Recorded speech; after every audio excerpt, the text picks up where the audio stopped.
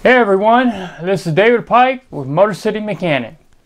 Uh, today I want to show you step by step how to remove the front grille on a 2007 all the way up to 2014 Jeep Wrangler. Uh, show you step by step what you need to do to take it off and what you need to do to put it back on. So with that, you go ahead and get comfortable while I get my hands dirty.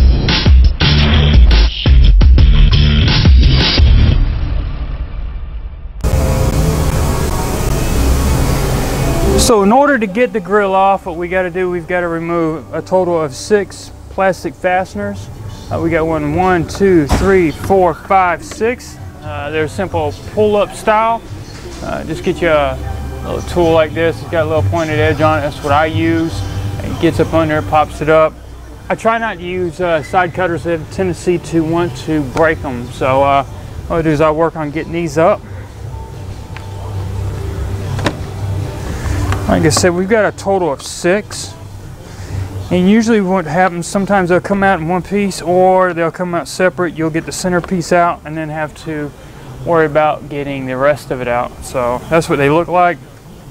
So we'll go along top edge here and that's how we're gonna work on getting this grill off the front.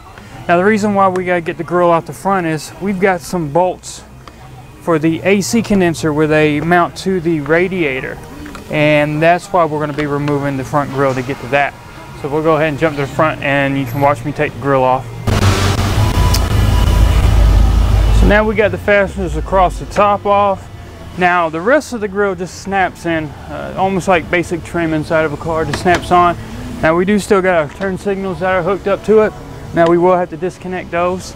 So what we do is we'll start grabbing from the top and start working our way loose, start unsnapping it.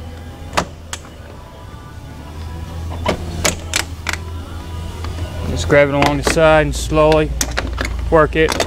And there we go. We got completely loosened. And now we're just working on getting the connectors off. Now what I like to do is I just go ahead and just twist it and get the bulbs out of it. Uh, I'm not too worried about the connectors because then I can fight with those. Otherwise I just twist it and get the bulbs out. I'm good to go. Now we can go ahead and gently, neatly put our grill off to the side. And then we get a little more access to the AC condenser and to the bolts that hold it to the radiator. So now what we're going to probably do is go ahead and move on to getting the plastic upper radiator shroud off and that's held in with approximately four plastic Christmas trees. So we'll go ahead and start doing that. At this point, it's time to go ahead and put the grill back on. You guys sitting in place. We're going to go ahead and hook up the, or reinstall the lights and their little perspective sockets up in here and rotate them and lock them in place.